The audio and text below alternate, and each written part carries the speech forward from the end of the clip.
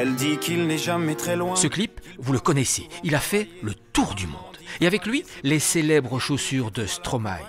Particularité, elles ont été façonnées par cet homme, Paul Dascott, artisan cordonnier à Soigny.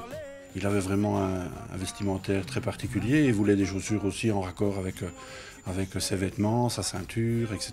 Et c'est vrai que c'est une belle rencontre humaine et une belle rencontre professionnelle parce que ça, ça a permis de faire quelque chose qui, euh, qui sort de l'ordinaire.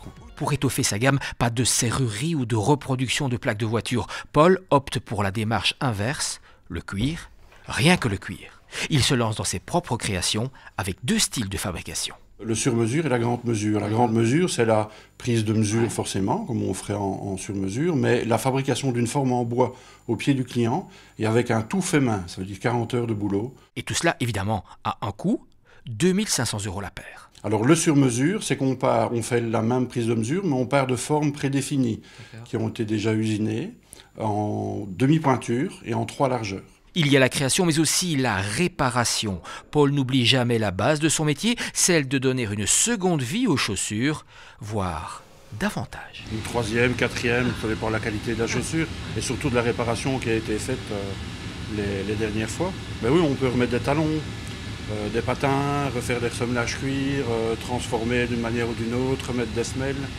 Euh, faire du cousu, euh, les réparations, c'est très vaste. Étonnant parcours que celui de cet artisan autodidacte. Voici 35 ans, il ne connaissait rien du métier. Aujourd'hui, il en connaît toutes les ficelles, tous les lacets.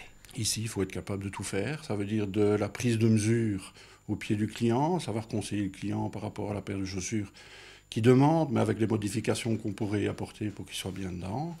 Euh, et, de dessiner, de patronner, de découper, de parer, d'assembler, de piquer et de monter complètement la chaussure avec les finitions.